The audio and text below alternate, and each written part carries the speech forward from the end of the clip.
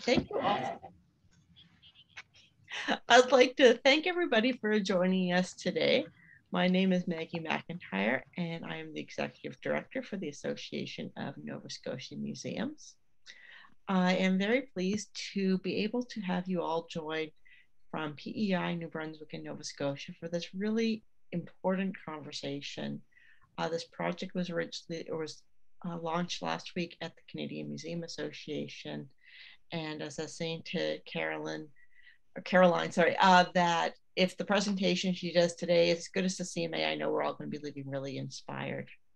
Um, before we get started, I wanted to take a moment to acknowledge that the Association of Nova Scotia Museums is located on the traditional and unceded territory of the Mi'kmaq. We extend our appreciation for the opportunity to live and learn on this territory in mutual respect and gratitude. I'd also like to take a moment today to acknowledge it's International Women's Day and for everyone to take into account what that means in their life, both recognizing the important role that women play today in the museum sector, in our own personal lives, and making sure that the world is a safe and good place going forward for all members of our society and all women um, in the full definition and broad definition of women, including transgender. I would like to um, let everyone know also that for logistics, this session is being being recorded and will be made available on the ANSOM website afterwards. The because we have so many people in the group today, that sometimes can cause bandwidth issues. So if you want to turn off your camera, you are welcome to do so, and that can improve your bandwidth. We also are going to have some resources put into the group chat, which you can follow along there. We will have time for questions at the end, and I really look forward to hearing what you all think about this project. So on that note, I'm going to take no more of your time because no one's here to hear from me. Mm-hmm. And I'm going to turn this over to Caroline Loewen and from the Alberta Museum Association. And I'm really excited to have her join us.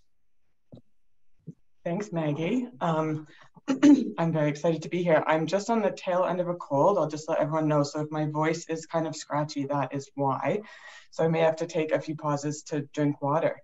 Um, yeah, thanks for having me. I'm going to get going with my presentation right away, but before I do, I'm going to put a link in the chat, which is a link to the French version of my slides. The presentation today, I will be speaking in English. My slides are in French and English, but if you want a solely French version to follow along with, um, go to that link in the chat and um, hopefully it works for everybody. It should take you to a PDF of my slide deck in French. Um, there will also be auto-generated captions in French. They are auto-generated, so there will be errors, um, but those are there um, as well to increase accessibility, language accessibility. So I am going to share my screen and get my presentation going.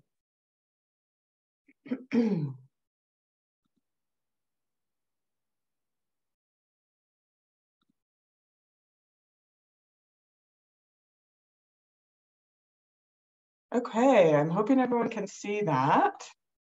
If I don't hear otherwise, I'll assume all is well. And I'm just gonna minimize you folks so that I can see my notes. Great.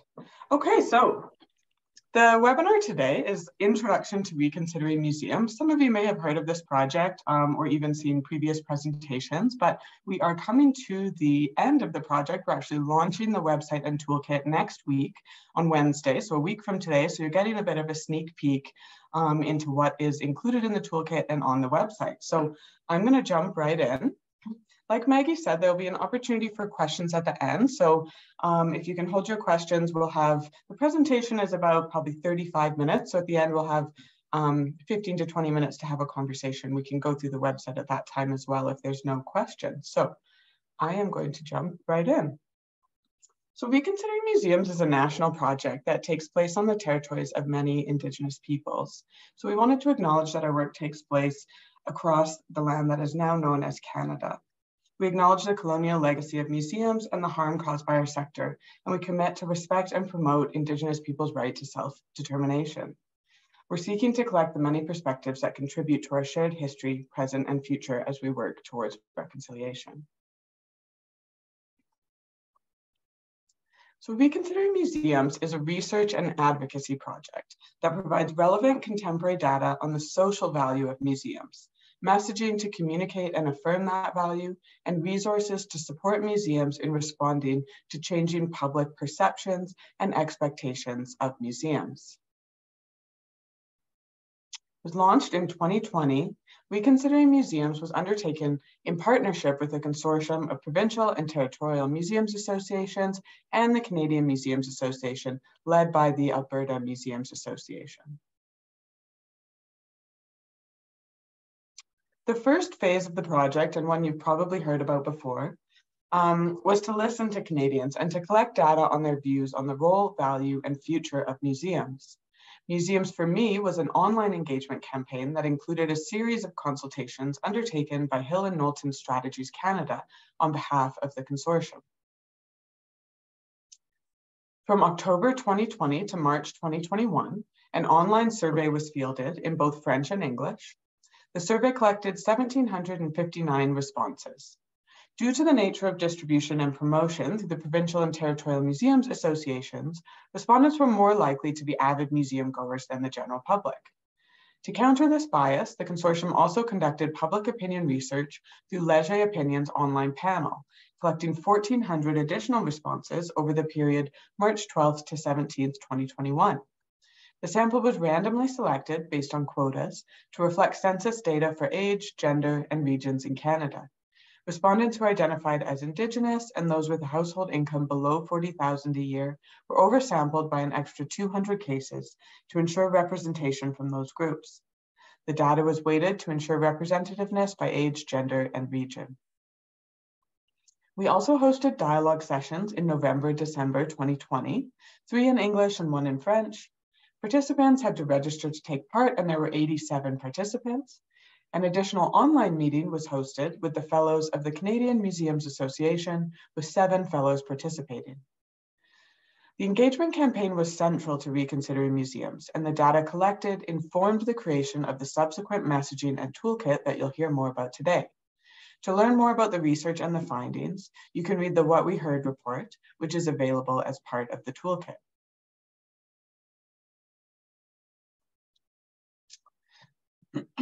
so reconsidering museums is the first time since 1973 that a national study gathered data on the Canadian public's perceptions and attitudes towards museums. So that's about 50 years ago.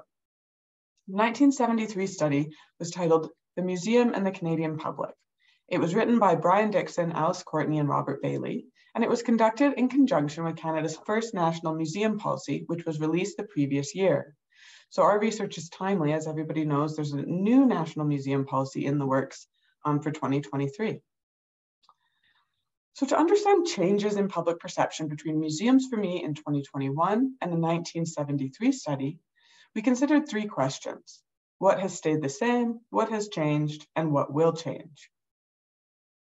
So as a little snapshot, in 1972, there were 838 museums in Canada. As of 2016, which is the last time this data was collected, the number has more than tripled to over 2,600 museums in Canada. So there has been a change in public perception and attitudes toward museums since 1973 that reflects not only the increasing number of museums for Canadians to visit, but an increase in museums' public programming as well as societal changes. We'll go through some of the data here. The following tables illustrate some of the key changes. So the data sources for the following tables are the 1973 data is from Museum and the Canadian Public. The 2012 to 2016 data is from Statistics Canada, and that's from their general surveys that they do. And the 2021 data is from Museums for Me, specifically the Leger Opinion online panel.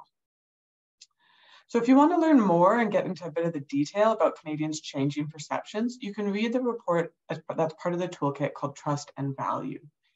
You'll see a, the cover of it there on the screen. So here's a little bit of how things have changed or not changed. The percentage of Canadians visiting museums has not changed significantly between the two studies, but there is an increase in the perception that museums are expensive as of 2021. However, the percentage of Canadians who see museums as elitist has decreased significantly since 1973. Today, the vast majority of Canadians do not consider museums to be elitist. Today, museums are not just places for tourists. Education, but not necessarily learning, as a primary role is declining slightly in importance since 1973, while the preservation of Indigenous knowledge and collections is increasingly a more important role for the museum. Canadians still consider museums to be trusted sources and good places for children. However, there was a decrease in the percentage of Canadians who found museums to reflect their culture and heritage today, likely due to Canada's increasingly growing and diverse population. So with that in mind, let's look at where museums are going. Canada is becoming more diverse. How Canadians think about the past and understand heritage is changing, particularly regarding Indigenous histories and cultures.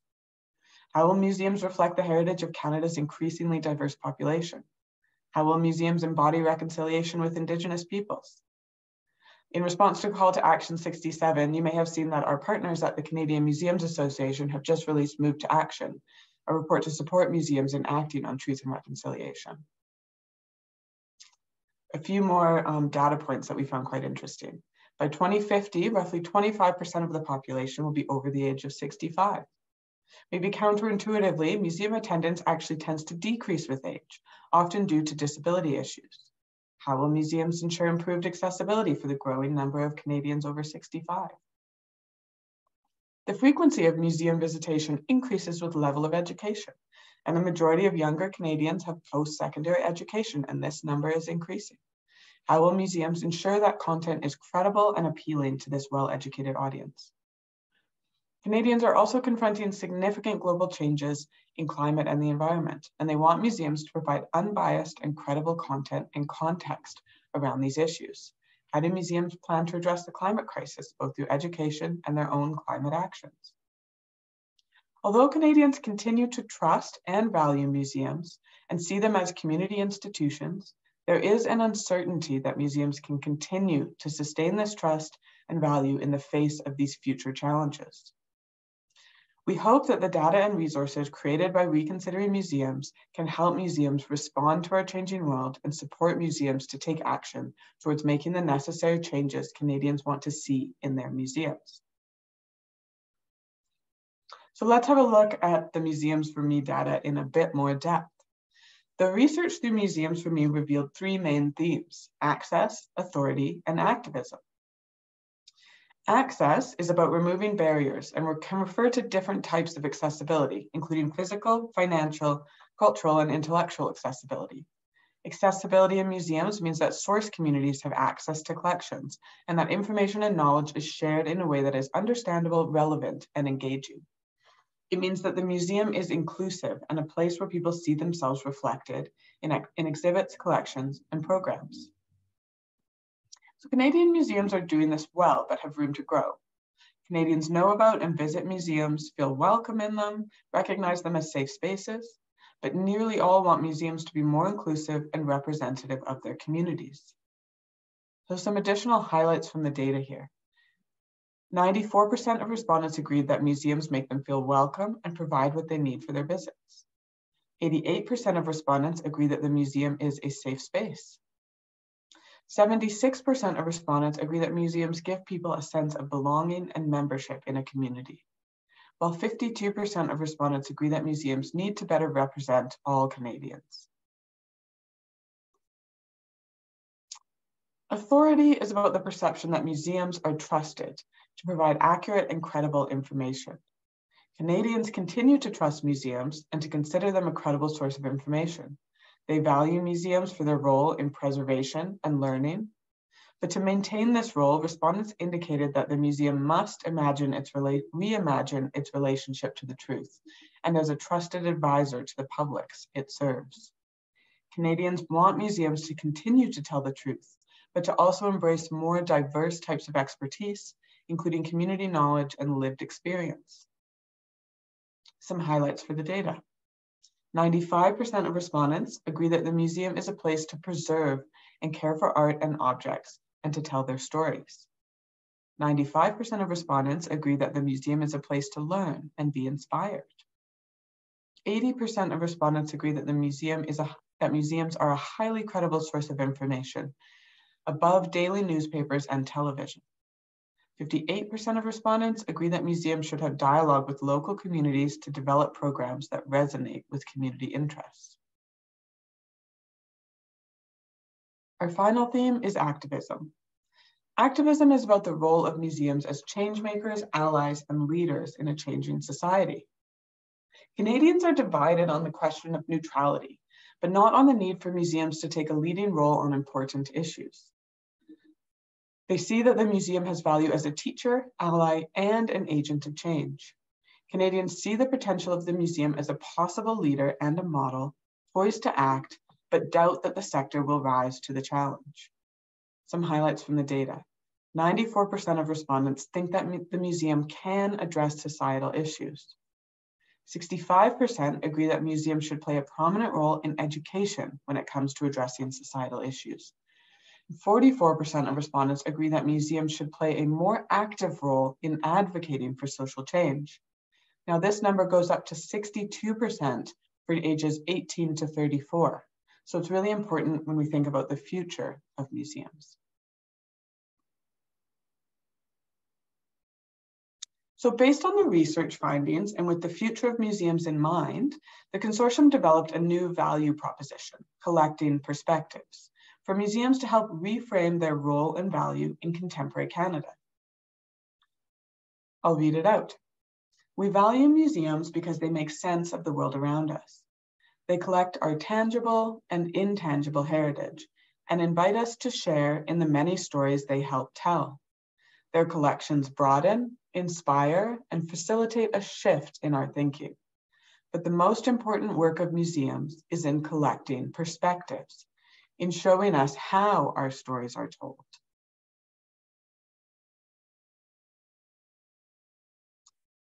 And on the screen, that's just the, the what I've just read out in French. The development of this new value proposition was driven by data collected during Museums for Me. So some highlights from the data to support collecting perspectives. 95% of respondents agree that the museum is a place to preserve and care for art and objects and to tell their stories. 93% of respondents agree that museums spark curiosity, provoke wonder, and promote creativity and a love of learning. 93% of respondents agree that museums help them understand other cultures and communities.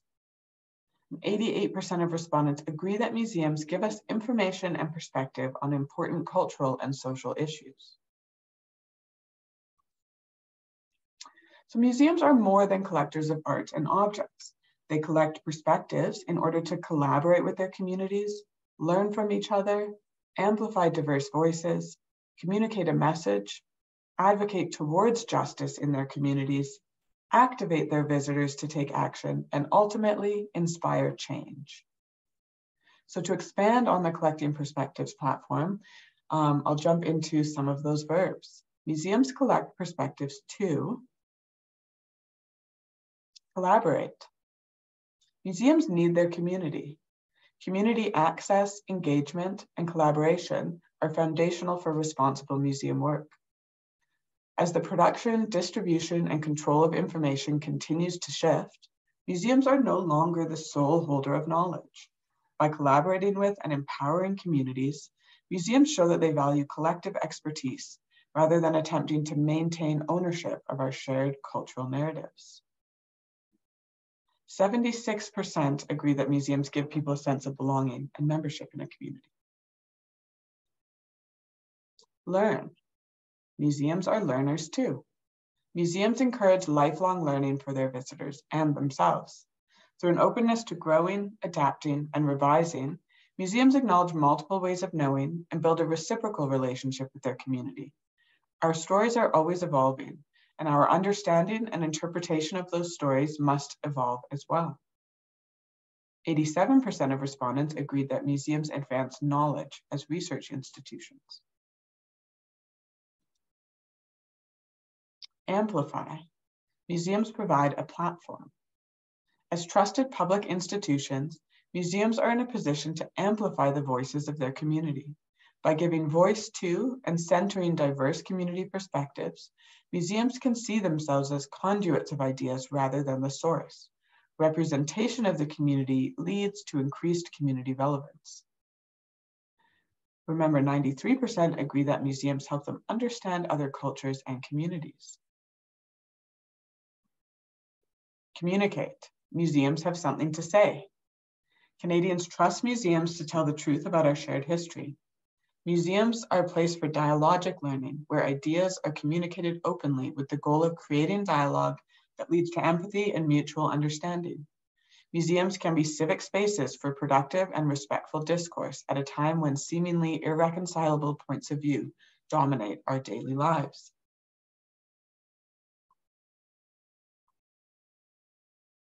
Museums take a stand.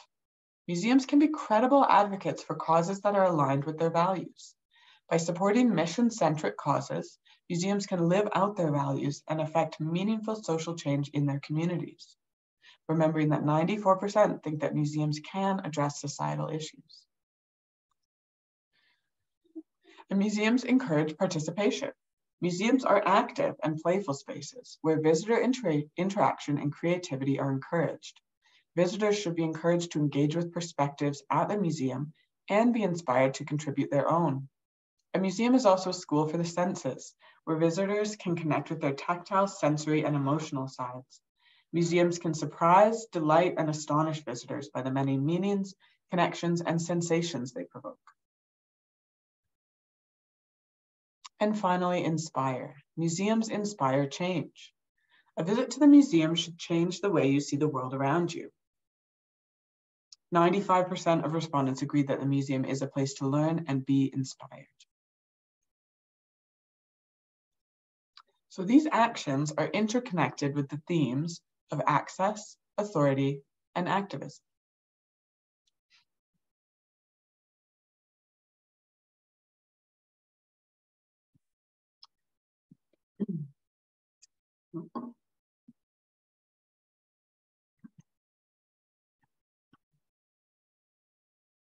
To build on the imperative for museums to rethink access, authority, and activism, the Truth Be Bold campaign was also developed.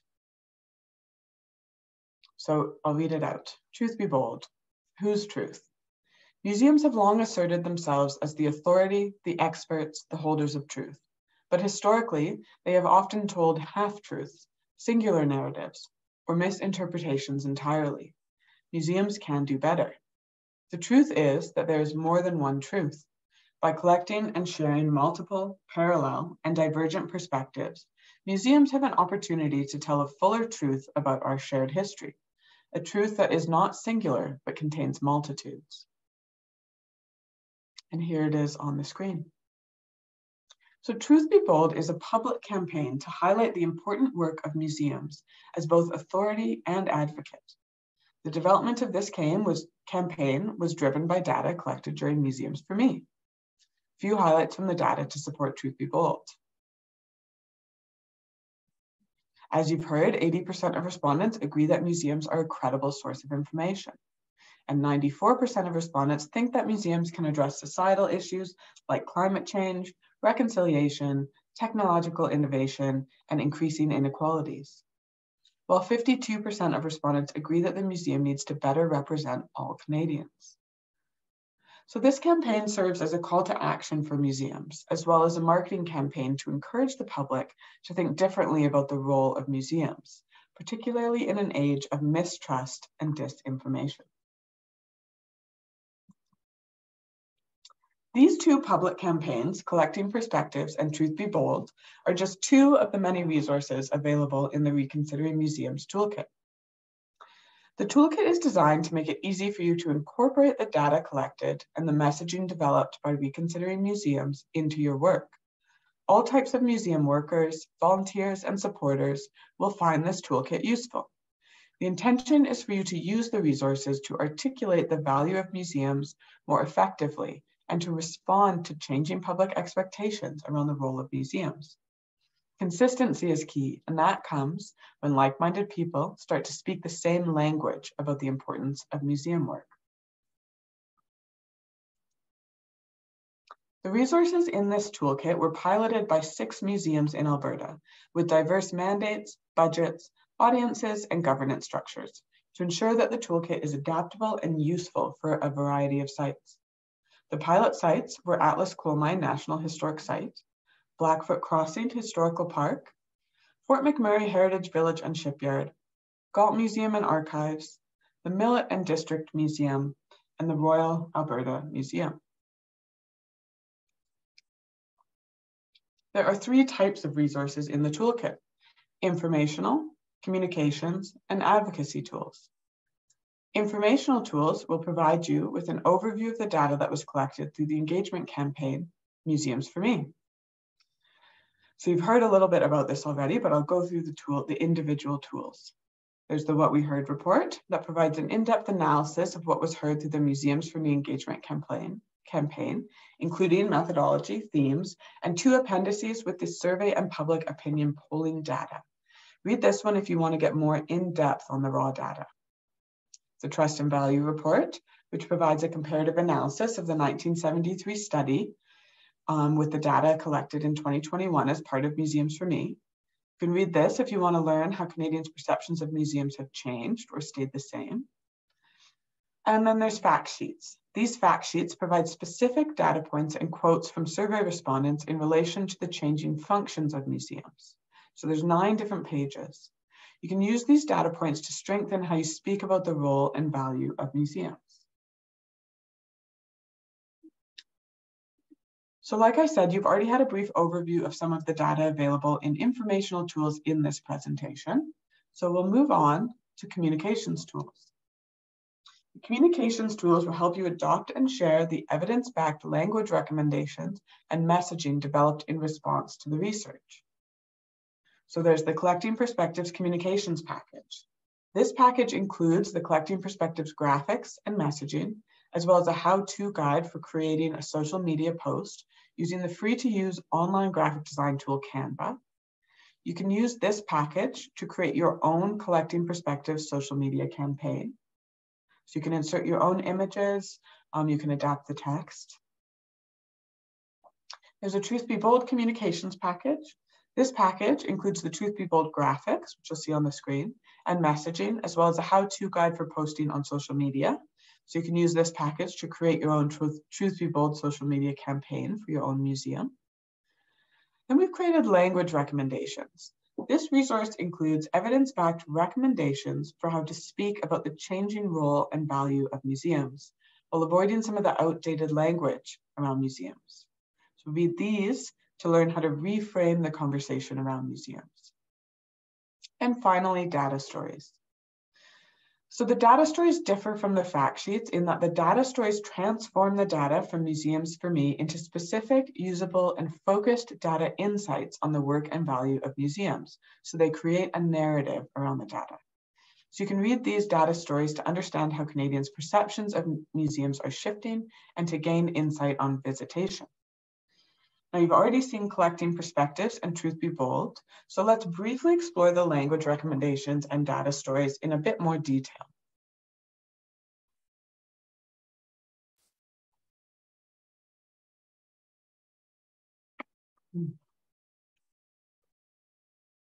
Here's the language recommendations. There are three language recommendations that are designed to facilitate a more productive conversation around the role and value of museums. There's one recommendation for each of the themes of access, authority, and activism. The recommendations came out of a desire to create a shared language around the value of museums, while acknowledging that certain words, like neutral and elitist, that have been associated with museums in the past, do not always have a shared meaning. Neutrality means something different to museum workers than it does to the public. And this creates confusion around the role of the museum. So the three recommendations are from elitist to relevant, from authority to collaboration, and from neutrality to credible advocacy. So the document goes into a bit more depth around the data to support this and some suggested reframes, but I'm gonna read out to you the sort of paragraph that we're suggesting around reframing the conversation. From elitist to relevant. The majority of Canadians report feeling welcome and safe in museums. However, many do not feel as though the museum represents them. The idea that museums are not for them persists, as many people do not see themselves and their interests communities, and histories represented in the museum's collections, exhibits, and programming. The disconnect is because the museums are not presenting stories that are relevant to their lived experience, not because people find museums elitist. People would visit museums more if museums told stories that are relevant to them and their communities. The second reframe, from authority to collaboration. Authority is held by everyone, Museums share authority with communities by collaborating pro to produce and disseminate knowledge, multiple types of knowledge, including oral histories and experiential knowledge are valued and included. The relationship between museums and their communities is relational, not transactional. Through those relationships, the museum can move from seeing themselves as the expert to embracing the role of learner. By doing this, museums earn the trust of their communities through reciprocity and knowledge sharing, not solely expertise. Visitors are seen as community members that actively participate with the museum to co-create their own learning experience. From neutrality to credible advocacy. Museums are trusted institutions that can combat disinformation and encourage critical thinking by presenting the facts, sharing multiple perspectives, and creating space for dialogue. Museums should acknowledge their biases and encourage visitors to reflect on their own. Museums have a role to play in addressing societal issues like reconciliation, the climate crisis, and inequity. Younger Canadians in particular want museums to take a more active role in advocating for social issues because they are accountable to their communities. So if you want to learn more about the language recommendations, you can find that resource in the toolkit. The next communications tool that we'll talk about in a bit more depth is the data stories. There are five data stories that can help you make sense of the data from Museums for Me. Two relate to demographics and barriers to visitation, and the other three are connected to the themes of access, authority, and activism, which are interwoven into the entirety of the toolkit. So I'll chat through those three that are connected to the themes. The first two are a bit more self-explanatory. So getting to relevance through accessibility and representation. Museums strive to remove barriers to visitation by creating accessible, safe, and welcoming environments for all visitors.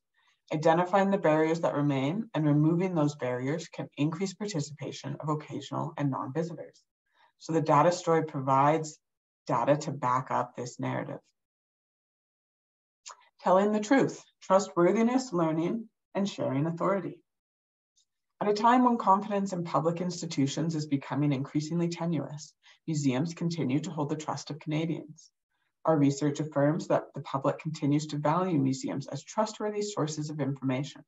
Even people who identify as non-visitors trust museums.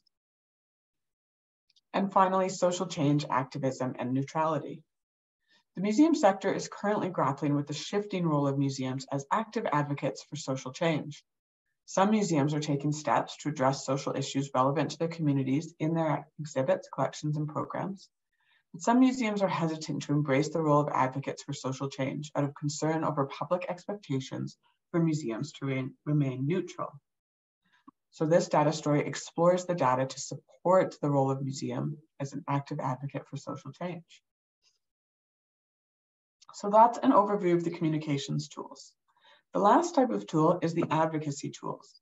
So these tools will support you in advocating for your museum, the sector, and for community issues outside of your museum. There's a case for support and explainer. Case for support is an adaptable fundraising document that includes an explainer to help you customize the case, as well as an example of a finished case. So you can use this template to create a values-based fundraising document for your own museum that uses the data from Museums for Me to support the social value of your museum. Letter templates targeting all three levels of government, as well as a community support letter template are also included. So you can use these templates to create a letter writing campaign for your own museum. And an advocacy policy template and action guide. This guide includes an advocacy policy template for both internal and external advocacy, as well as a step-by-step -step action guide for doing the work of advocacy. So we are going to explore this resource in a little more detail. So this resource was created in response to the need for museums to take a more active role in advocating for societal issues. Remembering that 44% of respondents think that museums need to be taking a more active role in advocacy, but this number rises to 62% for ages 18 to 34. This resource is really important for the future of museums.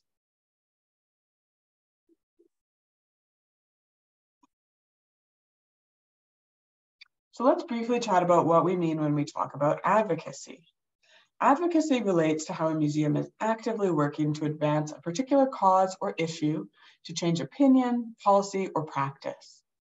Within Reconsidering Museums, we define advocacy very broadly, as advocacy can take on many different forms depending on a museum's circumstance or place in its community. Every museum will advocate differently and work on various social and environmental issues, included, but, including but not limit, limited to climate change, indigenous issues and reconciliation, local community issues, etc. So in addition to advocating for social change, a museum may also wish to advocate for internal or industry-wide relations, such as financial support, staff and board support, etc. So when we're talking about advocacy, we're kind of talking about these two types, internal advocating for your museum, whether it's more funding, more awareness, and then advocating for issues outside of your museum, issues that are in the community that you might care about as an institution or as an individual. so there are a number of foundational considerations for an organization, its board and staff to consider to step into the work of advocacy. The five C's that you see on the screen are phases that are important and essential in order for museums to be successful with their advocacy work. So the five C's are considerations, consciousness, courage, conversation and collaboration, and finally, clarity. So you can learn more about the five C's in the guide. I won't go into a ton of depth on that today, just in the interest of time. So what is the purpose of the advocacy policy template and action guide? The purpose is to help museums self-identify where they are at in their advocacy journey and to provide insights and examples on how they may go about conducting advocacy and developing an advocacy policy to make real and lasting change. We've heard that it's time for museums to speak up and out on issues that support their mission and their communities, to take a stance on these issues and not remain neutral, especially in times of immediate support. So what is an advocacy policy? An advocacy policy is a policy approved by the museum's board of directors in a motion that outlines the causes, ideas, and issues that are important to the museum. More importantly, it delineates how the museum as a whole will react to moral or civic challenges that arise in your communities. The policy acts as a reference to ensure that roles within the museum's teams are clearly defined when it comes to advocacy efforts. Developing an advocacy policy will ensure that your museum board, staff, and volunteers are all on the same page about how you conduct advocacy efforts internally and externally. And it really enables you to act quickly and to act confidently and to know that you're aligned with your museum's policies when having to make decisions.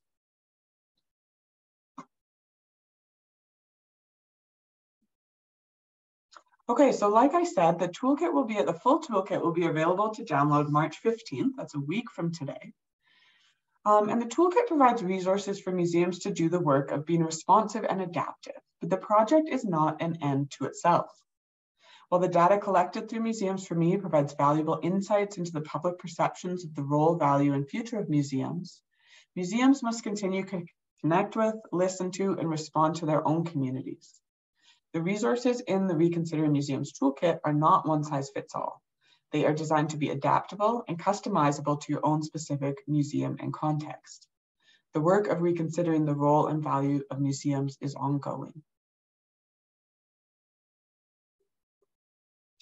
Finally, I just want to note that this project has been funded by the Government of Canada through the Canada Cultural Investment Fund and the Province of Alberta through the Community Initiatives Program. We are very grateful for the funding that enabled us to do the research and create the toolkit. And that is my final slide. So thank you for listening to me. Um, I hope you're excited for the toolkit, which is coming next week. You can download it at reconsideringmuseums.ca. If you have any questions, um, you can contact me at info at reconsideringmuseums.ca. That email comes directly to me. Um, so if you have any questions about the project or are interested in learning more about the resources, I am very happy to chat um, and help you explore how the resources can help your museum. So I am going to stop sharing. Thank you so much for this presentation. It was really great. My to-do list, I keep, kept keeping notes on the side of I need to do? um, so my to-do list is growing just from talking to you. And I know I've been looking at the versions of this coming along. And so it's yeah. really great to see this. Um, advocacy, I've been saying, is an increasingly important role for museums. And it's something that none of us are very familiar with or comfortable with. So having these resources is going to be a really great step forward. So I want to turn it over to the group for chat uh, for any conversations or questions. I think the easiest thing for people to do is to put a question in the chat and then we will share it that way. We'll give people a minute to that. The other thing I'll mention is when the toolkit is released, we'll um, be linking to it on the ANSOM website. And I believe PEI New Brunswick will be doing the same thing. So if anyone can't remember that URL, they can find that.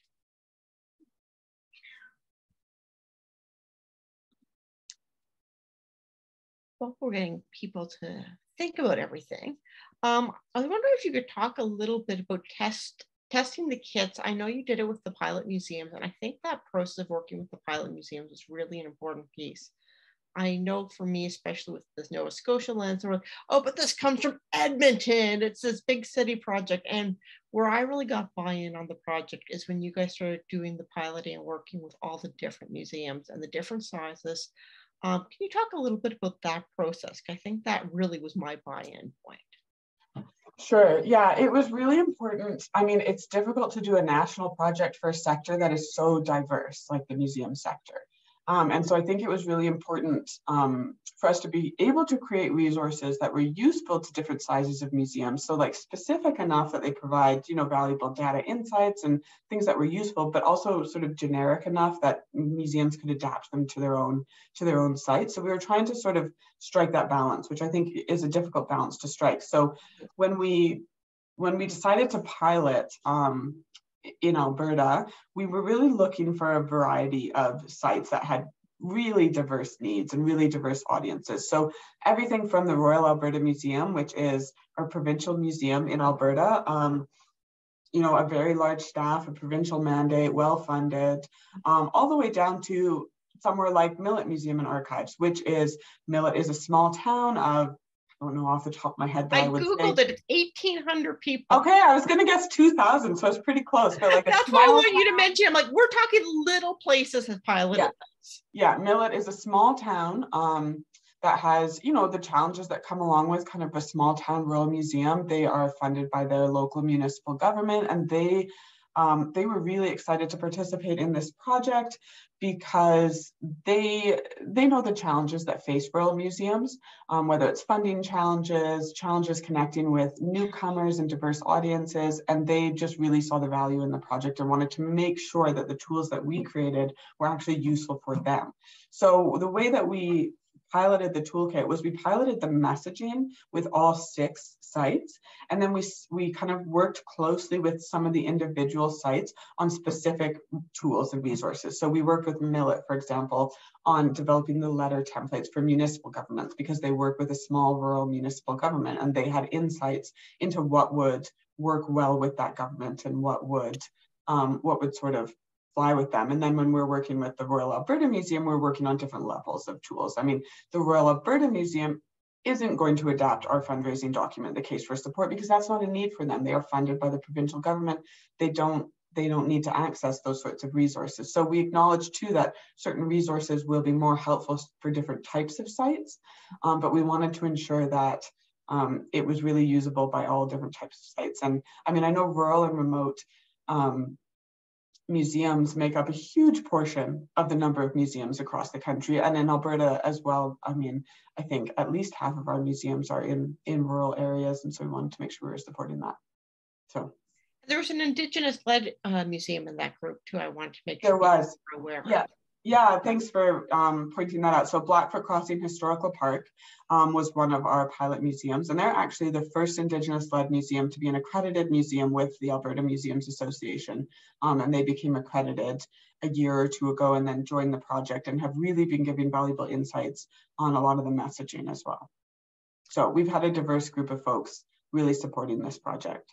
Like I said, to me, that was the buy-in, and that's why I wanted to make sure that was talked. It was really great.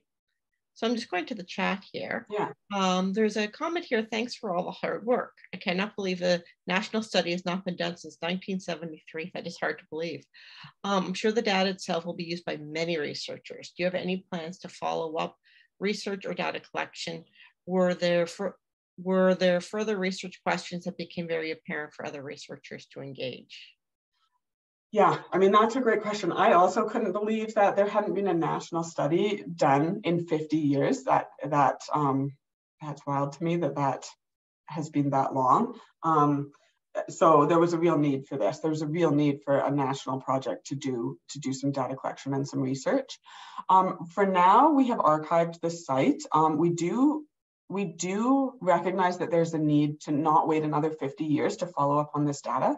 Um, and so we are hoping that the consortium of provincial and territorial museums associations and the Canadian Museums Association will find a way to follow up on this data, whether it's in five years time, 10 years time, and whether that means reissuing the survey um, in the same form or adapting it to sort of fit, uh, fit the new times in five years, it, adapting it how we see fit. I think it's really important that we get some follow up um, that we get some follow-up research on this because if we wait another 50 years, there's so much that can change in 50 years. And I just think that's unacceptable for the sector to be working without really good data. Um, and one of the interesting things that came out of the data was some of the pieces that we received were kind of already common knowledge in the in the sector. So we know that you know i think most people who work in museums know that people feel welcome and safe in museums but it's so important when you're applying for funding and when you're trying to you know advocate for new projects that you actually have the data because there's one thing between saying this through anecdotal experience and there's another thing by saying okay we've done the research we have this data and this is really important for our sector to professionalize the sector um, and just to help us in our advocacy with government in particular who's really interested in those hard numbers. Yeah. Um, questions that came out of the data there's for sure follow-up questions. I mean i think anytime you do research like this once you get the data you say oh well why didn't we ask this? We should have you know, we should have followed up on this. And I think for me, I think, and the team, what's been most interesting is the shift around the term neutrality and the role of museums um, and the sort of push for them to be that credible advocate and moving away from the idea of neutrality. So I think we would have maybe dived a little bit deeper into different ways that museums can do that um, and different ways that the public wants to see that. So maybe a follow-up survey would delve deeper into that sort of activism theme. And I'm sure there's going to be a lot of academics and researchers that are going to take this and go in their own direction. So next question is coming from Joanne at Dartmouth Heritage Museum. And for anyone who doesn't know, they've been very involved in advocacy recently due to municipal mm. funding challenges. Um, do you have any stories to share about any success stories, museums that are making inspirational headway in advocacy? Yeah, that's a great question. We actually, we did think about doing case studies as part of this project, but in the end, it just um, it didn't sort of fit into our timeline and the scope of the project. But I think that that would have been really valuable.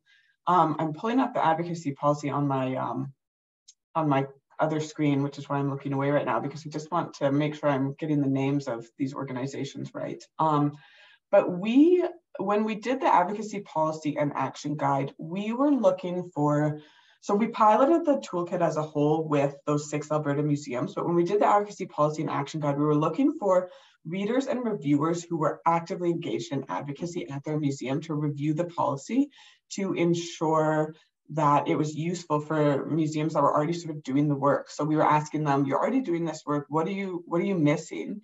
And so we do have some examples of some great museums that are doing really good advocacy work and they are the readers and reviewers of the policy and action guide. Um, so a few of them I can't go into depth around what, what they're doing, but we worked with the Tumbler Ridge Museum in BC, which is really kind of forward thinking with activists activism. We worked with the Cree Cultural Institute in Northern Quebec, who again has made some really um, good strides in terms of like community relations and how they're thinking about collecting um, and ownership of collections. They've done some really good advocacy work.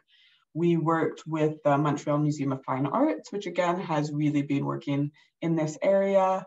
Um, we worked with um, it's escaping me, but we worked with a museum in Nova Scotia. Maggie, who did we work with in Nova oh, Scotia? Oh, uh, Shelburne. Was it Shelburne? No, it was. Um, there were a few from Nova Scotia that were suggested. I think yeah. Nova Scotia is doing quite a bit of good work. Um, That's what I was going to say. I can't remember who yeah. you ended up work. I sent a couple emails, um, but I think Nova Scotia is doing some really good work. And yeah. you, Joanne, you might be an example of success. And going forward, I think as we build on this, there can be more opportunities to share it. Yeah, but I think there it would be. It, I mean, and maybe that's a follow up for this project as well. Is to do some case studies of museums that have already made that shift and are advocating for issues outside of their community and have a, found a really good balance and a way to do that and have supportive boards and supportive staffs that are sort of supporting this work because it's happening.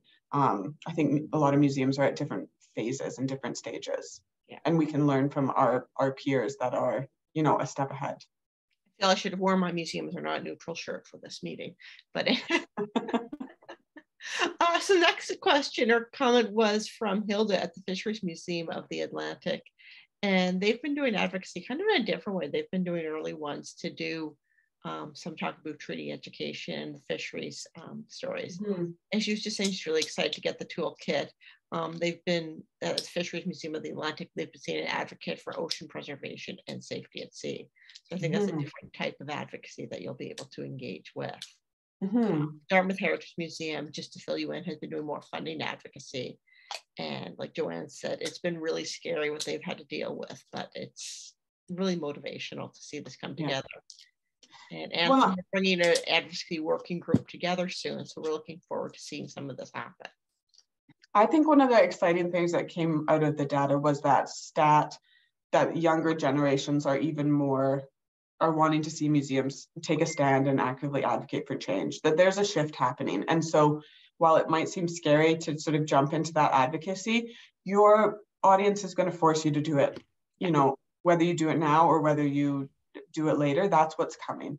Um, and I actually think that's really exciting because that actually can enable museums to say, to confidently say, we are we are going to take this step.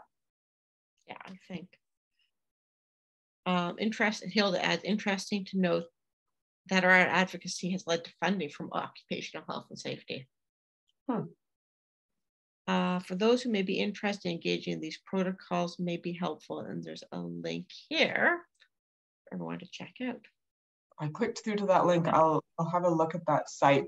We've also on the website, there's a page of additional resources because we know that reconsidering museums can't provide everything and we didn't try to provide everything. I, I mentioned in my presentation the Moved to Action report, um, which was sort of being developed alongside this project. The CMA was working on it on the same time we were working on this. We had a lot of conversations um, about not wanting to duplicate work, but also making sure that we are supporting each other's work. Um, and we have a page that links to work that's been done by our partners and other organizations sort of in the sector that can help support. They're almost like additional tools in the toolkit that weren't developed by us, but that are sort of part of the work that we're trying to do. We've talked about advocacy some. I just want to have you talk a little bit, a little bit more about that common language. Um, in our recent conversations with politicians in Nova Scotia, that need for common language is coming out as increasingly important. And I think museums are all raising issues. And sometimes we're saying the same thing but using different words. And you talked about the importance of this toolkit to give us all a common way to talk about things. Yeah. I wonder if you want to mention, talk about that again anyway.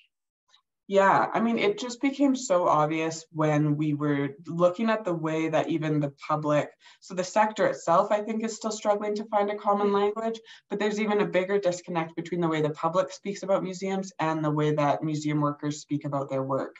Um, and even something as simple as elitist. I think that perception that museums are elitist actually persists within the sector, that somehow the sector still thinks that they are perceived as that we are perceived as elitist. And so just trying to move away from talking about museums that way um, i think is really helpful because one of the interesting things about language as well is even if, if you keep saying museums are not elitist museums are not elitist you're still associating museums with elitist with elitism. And so actually moving away from that language altogether can be the most helpful way to sort of step forward and step away from that conversation um, and the word that actually prompted us to create the language recommendations was that word neutral, because it came up time and time again in the survey. And we found that the public was actually contradicting themselves.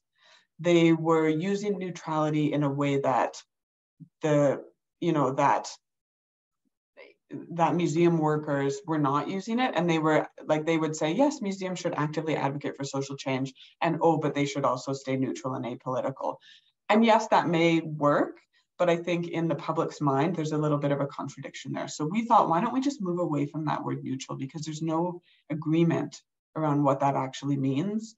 Um, and why can we move to some more productive language? Yes, when you get people off that hung up on a single word, it really helps. Yeah, yeah. Uh, Christine yeah. Sikora from the Nova Scotia Museum says, thank you for a great presentation and the amazing work. I'm also looking forward to getting the kit. I thought the observation and age group was very interesting. I may have missed it. Was there was the data cross-reference with culture satellite account, etc. I'm not, I'm not sure what that is. But Christine, um, I can follow up with you about that if we. I oh. is that the economic framework that you're referring to? I think it's maybe an economic um, framework that the government of Canada uses to sort of assess the economic value of the sector. Um, I will say we did, we, we, so a few years ago, the GLAM study was released by the CMA, which is more related to the economic value and the economic impact of the sector.